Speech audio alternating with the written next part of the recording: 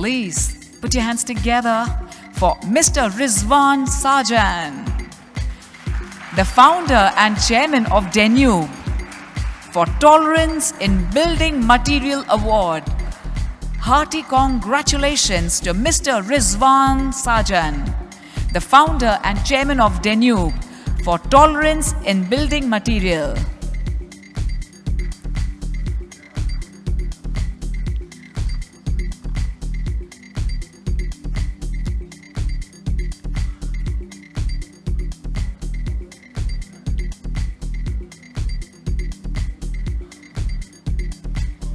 Ladies and gentlemen, Dubai is absolutely the place who everyone falls in love with. And Dubai, I always think that if I take a house, I only remember Danube Properties. So here we are with us, Rizwan Sajan. How are you doing this evening? You're looking as dapper and dashing as ever. Ma'am, why are you sitting there? You left him. Okay, sure. How are you doing this evening? Good. Simran, so happy to see you always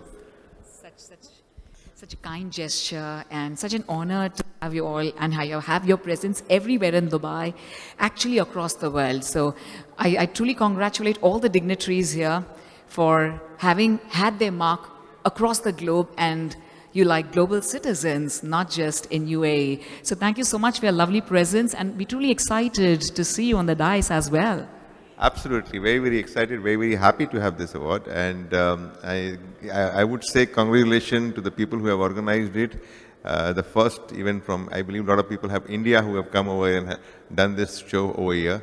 So really impressed and uh, wish them lots of success in the future. Thank you so much. Thank you. Hello everyone, this is Rizwan Sajan from Danube Group. I'm so excited and delighted to receive the first Tolerance and Humanitarian Award in the building material category on 23rd November, which is happening in Atlantis, Dubai.